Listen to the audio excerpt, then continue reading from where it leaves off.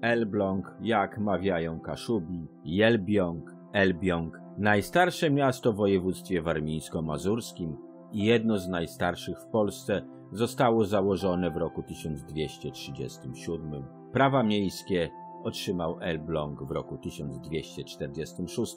Z historycznych zapisów miasto posiadało prawo do czynnego uczestnictwa w akcie wyboru króla, zaś jego obywatelstwo dawało przywilej do posiadania ziemi. Elbląg liczył 117 952 mieszkańców, dane na dzień 30 czerwca 2021 roku i jest pod względem liczby ludności drugim po Olsztynie, miastem w województwie warmińsko-mazurskim. Zapraszam na spacer po tym urokliwym mieście.